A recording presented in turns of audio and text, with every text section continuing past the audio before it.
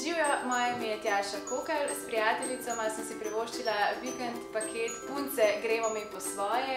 Gre za vikend oddiha in sprostitve, privoščila sem si par masaž in nek obraza, imamo se super fajn, zato preveri njihovo ponudbo, tudi ti.